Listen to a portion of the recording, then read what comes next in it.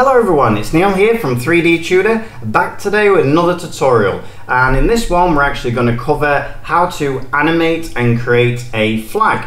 So here is the flagpole and this entire Blender file will be free to download, just check out the link uh, down below. And if you want to give a donation to the channel you're also free to do that, but if you don't it's totally free to actually download.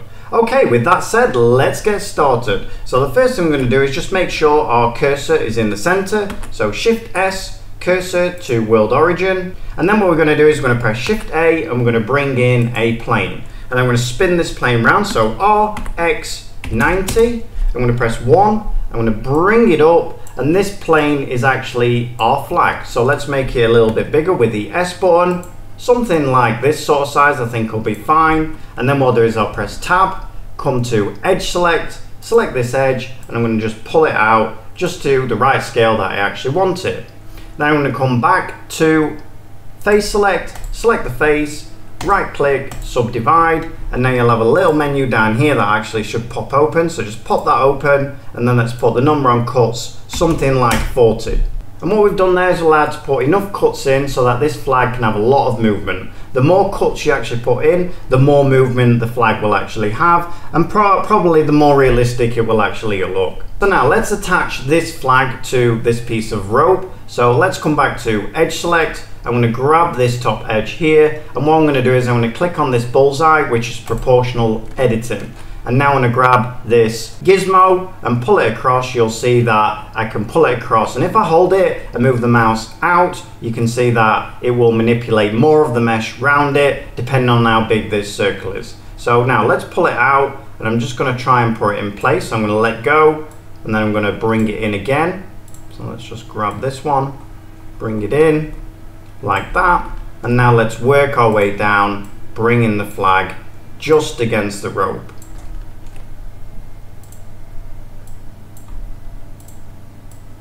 Okay, so that's all in place now. Now we can press tab, grab the flagpole, hide the flagpole, and now we can grab our flag, press tab once more, make sure you're in edge select. What you're gonna do is you're gonna click on one of these and then alt, shift, and click, and that's just gonna grab them going all the way up. And now you wanna do is you wanna come across to your triangle, and you wanna see where vertex groups is. I'm gonna press plus, I'm gonna rename this with double clicking, and call it flag and then I'm just going to click assign. And basically what that's done is it's made a vertex group out of all these that are selected at the moment and that is so we can actually pin this part of the flag to our rope. So now if I press tab, alt H and bring back my flagpole and now I can actually give this flag some texture. So let's click on the flag, press the tab button again, press A and what we're going to do is we're going to press 1 on the number pad and that's going to make sure that we're facing this straight on, press the U button and come down to where it says project from view. And that's basically just gonna unwrap it projected from this view. Okay, so the next thing we wanna do is now bring in material. So let's come over to our materials button, which is this one here. Press the plus button, click new, and let's call this flag material.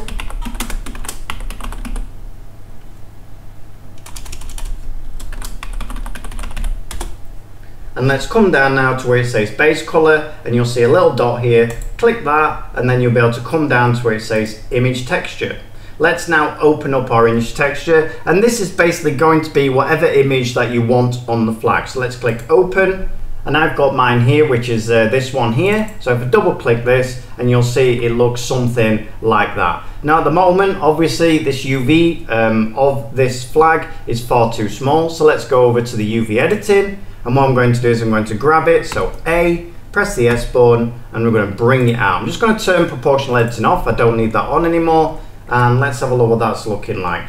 Now don't worry about it repeating, we're going to sort that out as well. Just make sure that you're happy with how the actual logo is in the center of the flag. So at the moment I know I need to move it more over to this side. So if I press tab, and what I'm going to do is I'm just going to press G and X and just move it more into the center, something like that.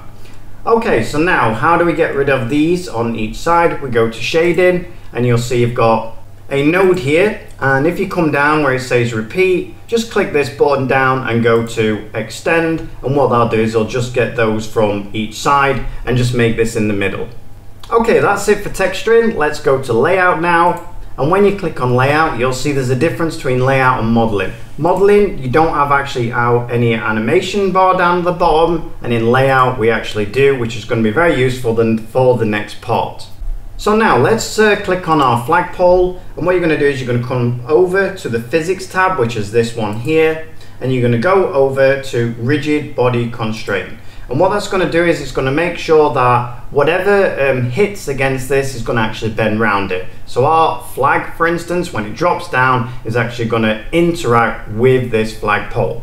So now let's give the flag some physics as well. So click on your flag and give it a cloth physics and then come to nearly the bottom and what you'll see is under this uh, shape you'll see one called pin group. Click there and put flag and then what's going to happen is if I press spacebar now, you'll see that because we've pinned it and we've put a rigid body on, this flag hits against here and basically hangs from where we've pinned it. So let's just stop that a minute, put it back to zero, and you can see we do have some issues. First of all, um, it's not very smooth, this flag, it's very bumpy, so let's get rid of that. So we're gonna right click, shade smooth, that's fixed that. And also now we want the flag to actually, on part of this uh, simulation to blow in the wind. At the moment my simulation is on 500, yours will probably be on 250 so just set this to 500 like so. And then also come across and you'll see that this simulation is also on 250 so set this to 500 as well. And now we can bring in some wind. So if we press shift A come down to where it says force field go across and you'll have one that's called wind. Let's bring you up pull it across, and you can see at the moment the little arrow is pointing that way, so let's turn it round. So RY 90, let's turn it around the right way. And at the moment you'll see the strength is on 1. Now what we want to do is we want the flag to drop down and then start picking up wind speed a little bit of way into the simulation. So how we do that is we'll set this to zero first and then we'll press I which is going to which is going to insert a keyframe. So what that's going to do is it's basically going to tell Blender at frame zero, the strength of the wind is actually zero. So now let's come over to 100 and what we'll do is we'll tell Blender again that at frame 100, the strength of the wind is also going to be zero. And now we'll come to 150 and what we'll do is we'll tell Blender now that at 150, the strength of the wind is going to be 4000. So press enter and don't forget to press I when you're hovering over it. And now we'll go to frame 400 and you can also click on here to actually put the frame in. So if I put 400 in here, it'll take me straight to there. And let's put it on uh, 4000 as well. So we'll press I, hovering over it, and finally we'll come to frame 500. And what we'll do is we'll put this on zero again. And then we'll press I, and now we've got one, two, three, four, five keyframes. So now if I bring this back to zero, and I press spacebar, you'll see that the flag actually drops down. And then the wind will start picking up.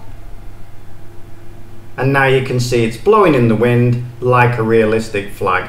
When we get to uh, frame 400, the wind will die down. And finally, when we get to frame 500, the simulation will end and restart again at frame zero. So uh, that's it everyone. I hope you enjoyed that. If you did, give me a like. If you want to support the channel, check out the links below. And you'll also find down below links to actually all the courses that 3D Tudor produces. So happy modeling everyone, and I'll see you on the next one. Thanks a lot. Bye bye.